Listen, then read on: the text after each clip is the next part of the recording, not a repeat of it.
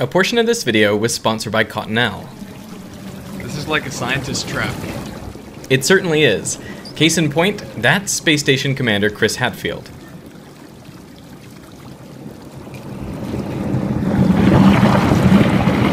What this isn't is turbulent. Nope, this is largely laminar flow. Did somebody say laminar flow? If you didn't know, Destin from Smarter Every Day loves laminar flow, where all the particles of the fluid move parallel to each other in organized layers, or laminae. Look at that! It made a bubble! Where I live, people will roll down the window in their car when they see me in the street and they will scream, Turbulent flow is better to me. That happens. That happens in Huntsville, yeah. Here's here's my argument to you, Destin. That laminar flow is easier to love. Okay. But turbulent flow, if you make that effort, is actually more awesome. Um, no. Turbulent flow is not better than laminar. It is awesome, but it is not better than laminar flow. Can I just say, I get it. I get where Destin is coming from. I mean, laminar flow is pretty and it's well behaved. Meanwhile, turbulent flow is a mess in more ways than one. I mean, there isn't even a universally agreed upon definition of turbulent flow. You know it when you see it. So that that's the deal with turbulence. You know it when Pretty you see much, it. Pretty much, yeah. So instead of a formal definition, in this video we are going to build a checklist of characteristics of turbulent flow so that you know it when you see it. And the first characteristic of turbulent flow is that it is unpredictable.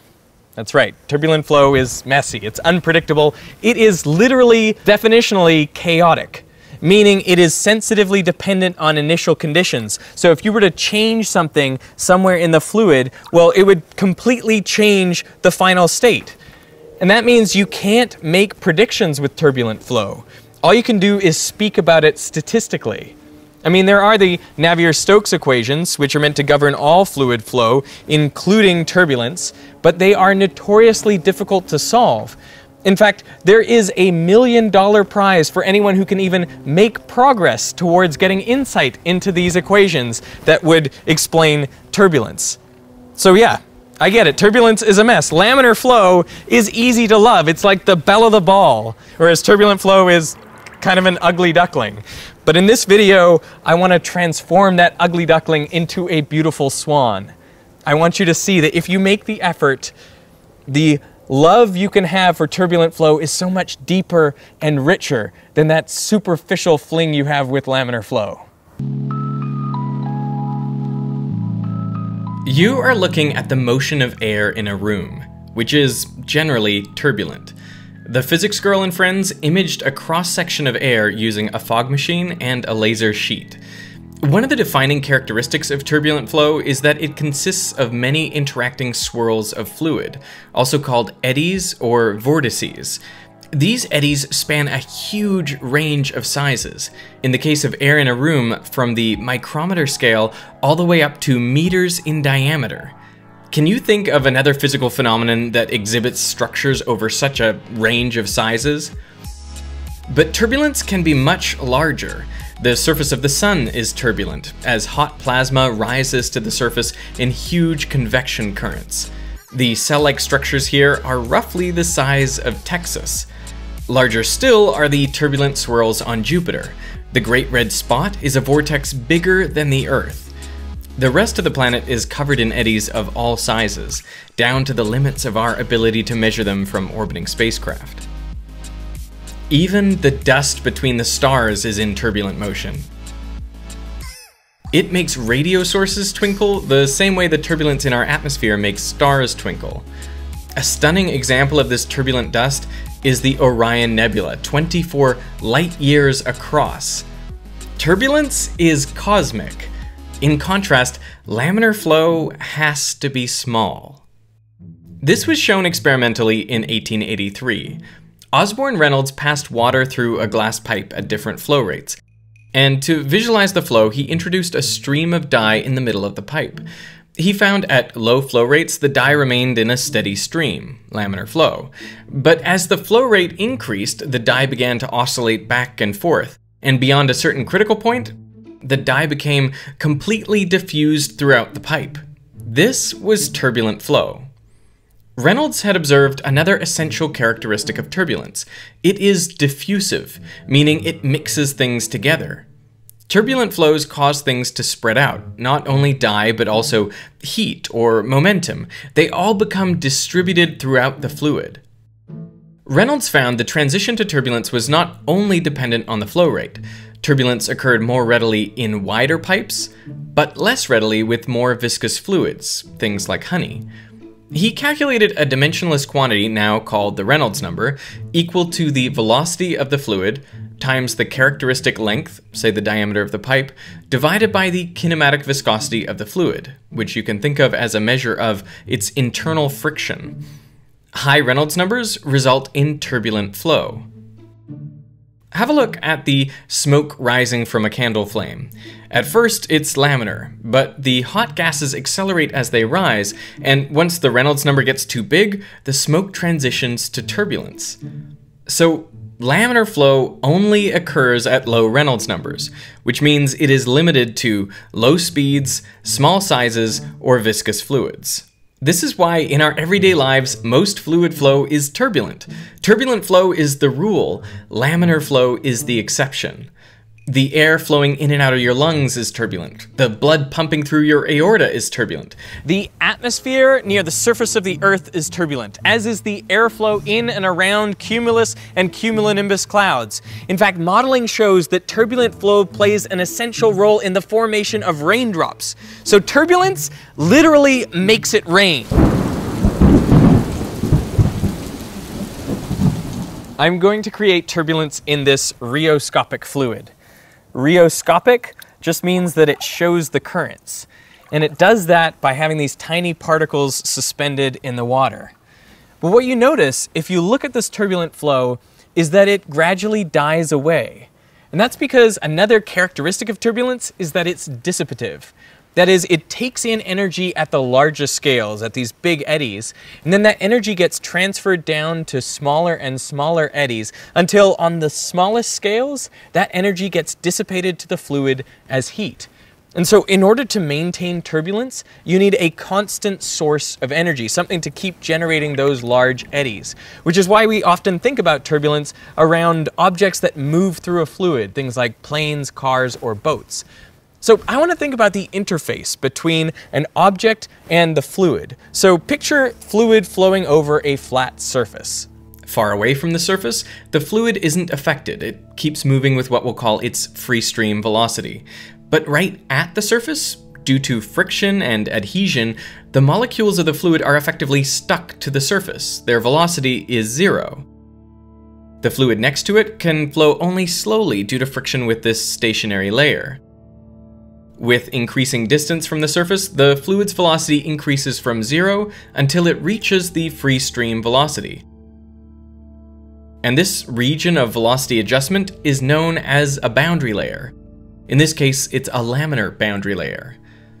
To form this boundary layer, the surface is applying a force to the fluid. That means the fluid is applying an equal and opposite force on the surface, and this is known as skin friction. Now, if the fluid velocity is particularly fast, or if the surface is long, the boundary layer will grow and eventually transition to turbulence. In a turbulent boundary layer, the fluid swirls and mixes, bringing faster flowing fluid closer to the surface. And this increases the skin friction. So, turbulent boundary layers result in significantly more drag than laminar ones. And the boundary layers around planes and large ships are mostly turbulent and skin friction accounts for the majority of the drag they experience.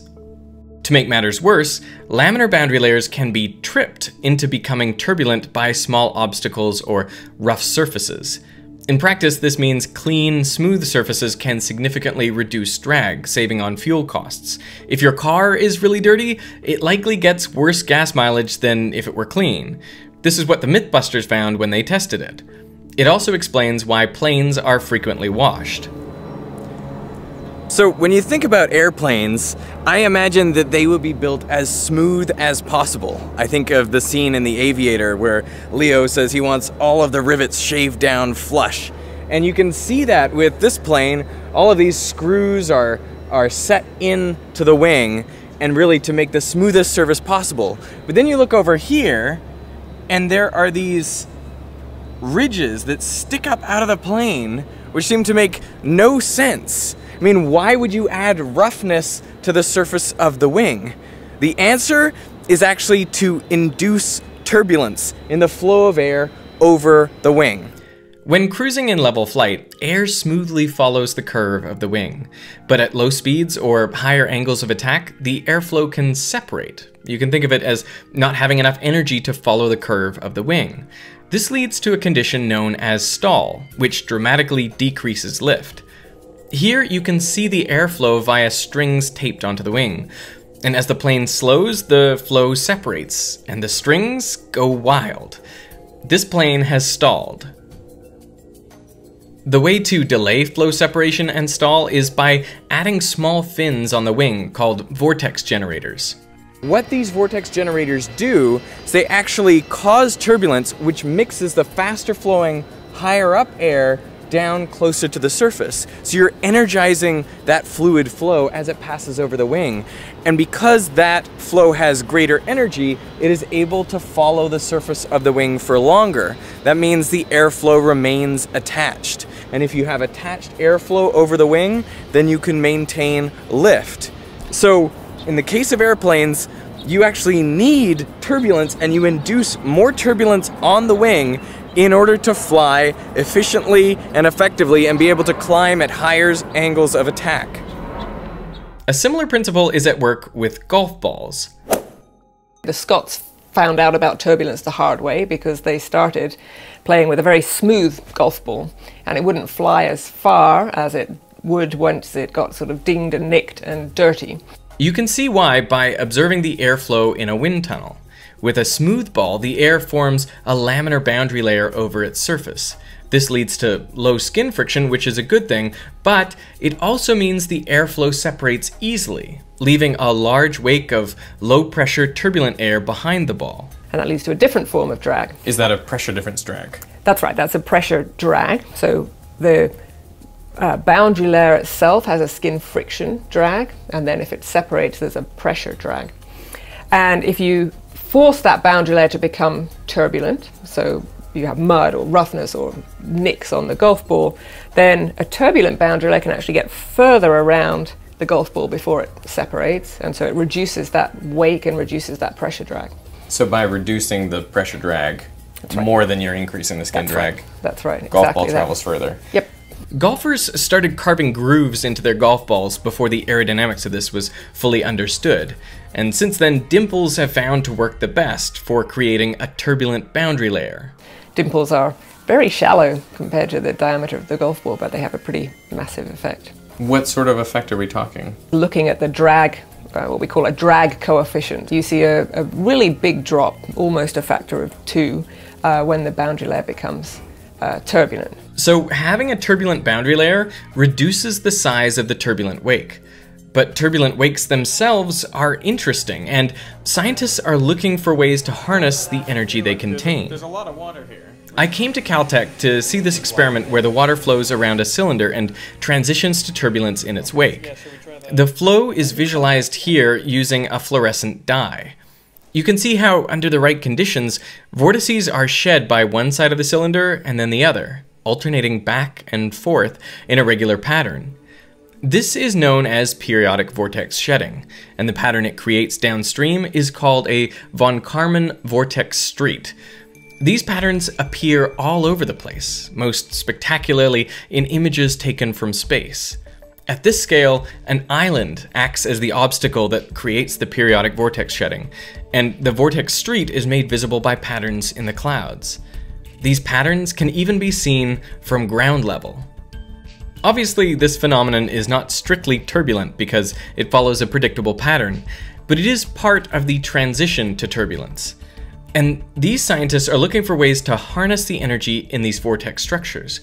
One experiment showed that if you put a dead fish in the wake of an object, it will actually swim upstream. This suggests fish can take advantage of turbulent water to swim more efficiently. It's just one way that animals have adapted to live in a turbulent world. So, to sum up, turbulence is everywhere. It's inside you, around you, from the smallest scales up to the largest structures in the universe. And it's useful for flying airplanes, forming raindrops, making golf balls fly further, and helping fish, dead or alive, swim upstream. In contrast, laminar flow is small, superficial, it's a toy. That's why its most notable use is in decorative fountains. It appeals to your desire for order, but the world, like turbulence, is messy. That's why I personally prefer the richness, the unpredictability of turbulent flow. No, but but turbulent flow has its places too. I'm actually like studying turbulent flow for like my my schooling. Like I'm studying turbulent flow in rocket nozzles. That's a thing. So You're cheating on laminar flow, is what you're doing. um no. Yes. yes, maybe. I don't know. Uh, but I, what, you will not get me to say turbulent flow is not awesome and not beautiful. You will not get me to say that. So I will concede, and I agree with you. Turbulent flow is awesome. I will agree. All right, all right. Well, that's It's just not as awesome as laminar flow. Let's be honest. Hey, I just wanted to let you know that this video was filmed before the COVID outbreak and before the shelter in place guidance was put into effect. Now, this portion of the video was sponsored by Cottonelle Flushable Wipes, and since the outbreak, they have been working around the clock to get their products back on shelves. And back when I filmed this video, I actually did a little experiment with these wipes to find out how flushable they really are. So let's check that out. So here I have a baby wipe, a paper towel, and a Cottonelle flushable wipe. And I'm gonna submerge all three of these in the fish tank for 30 minutes and then test how strong they are. Flushable wipes actually became really important to me a couple years ago when the main sewer for my building backed up into my condo and flooded the entire downstairs. And the reason was my neighbor was flushing baby wipes down the toilet and that blocked up the whole system. So uh, it was pretty awful. But in fact, this is a thing people do a lot. There was this study from 2016 that found in the US, 60 million baby wipes are purchased every year, and 7 million of them end up being flushed down the toilet. In fact, when they looked in the New York City sewer system, they found that 38% of the stuff you find in there is actually these baby wipes. Meanwhile, 14 million flushable wipes are purchased every year and flushed down toilets, but they make up only 2% of what you find in the sewer system. So I think it's so important that whatever you throw in the toilet has to be able to break apart so it doesn't clog everything up. Okay, 30 minutes have elapsed and it is time to test the strength of these three wipes. So I'm gonna test their strength with a roll of pennies. Here we go, on the baby wipe. It can still support that weight. What about the paper towel? Can still support that weight. What about the Cottonelle flushable wipe? Ah, it fell through. So this is what makes the Cottonelle flushable wipe flushable. It immediately starts to break down after flushing. So you should purchase some Cottonelle flushable wipes and try them out for yourself. I want to thank Cottonelle for sponsoring this video and I want to thank you for watching.